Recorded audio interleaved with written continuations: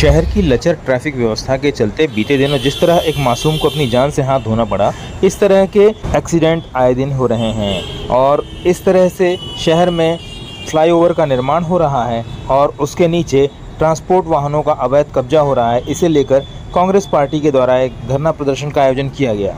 इसके साथ ही ये एक सांकेतिक हड़ताल थी, जिससे कि शासन प्रशासन को एक चेतावनी मिल सके कि यदि समय रहते उन्होंने इस समस्या का निदान नहीं किया तो निश्चित रूप से कांग्रेस पार्टी सड़क पर उतरकर बृहत आंदोलन करेगी और सरकार को इस बात के लिए बाध्य कर देगी कि यहाँ की व्यवस्था में समुचित सुधार किया जी सर बताएँ आज के धरना प्रदर्शन की वजह बताएँ। नगर के व्यस्ततम मार्ग रानीताल से दमो नाका बल्लेव बाग वाले क्षेत्र में ट्रैफ़िक और अवैध पार्किंग की समस्या को लेकर कांग्रेस परिवार का ये धरना आज यहाँ आयोजित है।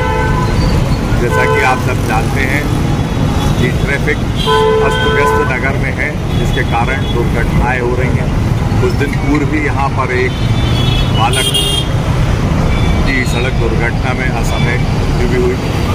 इन सब बातों को लेकर ट्रैफ़िक व्यवस्था को व्यवस्थित कराने, यहाँ से अवैध पार्किंग भारी वाहनों की समाप्त कराने को लेकर आज यहाँ हम सब धरना दे रहे हैं। पूर्व में ज्ञापन भी दिया जा चुका है पार्टी के द्वारा और उम्मीद करते हैं शासन प्रशासन इस धरने से जागेगा और अति शीघ्र कार्रवाई करेगा। इसमें यदि शासन प्रशासन के द्वारा उचित कार्रवाई नहीं होती तो आगे की क्या रणनीति रहेगी? आगे की रणनीति में आंदोलन और आगे चलेगा क्रमवार बढ़ता जाएगा। जी भैया। कांग्रेस के कस्तूरबा गांधी वार्ड के पार्षद भाई संतोष पंडा जी के आह्वान पर आज इस चरमराई हुई यातायात व्यवस्था के विरोध में हम समस्त कांग्रेस जन यहाँ पर धरने पर बैठे हैं। आपने देखा कि किस तरीके से इस फ्लाईओवर का निर्माण किया जाता है यातायात को सुगम बनाने के लिए।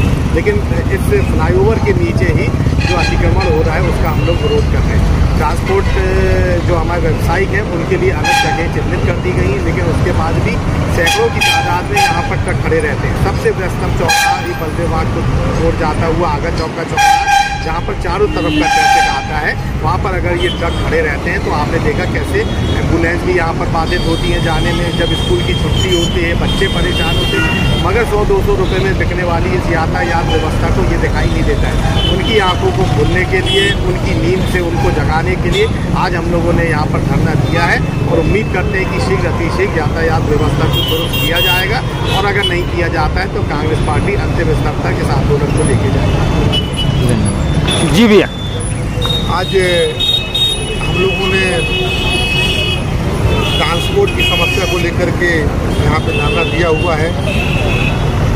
हमारे इस आगा चौक बलदेव बाग क्षेत्रों में जो अवैध ट्रांसपोर्ट बने हुए हैं, क्योंकि महाराजपुर में, मौरिया में और चंडाल भाटा में ट्रांसपोर्ट बने हुए हैं, उसके बावजूद भी ये यहाँ पर जो बुकिंग ऑफ़िस हैं लेकिन इनके चार पहिया वाहन सैकड़ों की तादाद पर यहाँ पर खड़े रहते हैं, जिससे कि हमारी स्वच्छता अभियान में भी काफ़ी दिक्कतों का सामना करना पड़ता है। इन्हीं सब मुद्दों को लेकर के आज हम लोग जन आंदोलन में बैठे हैं।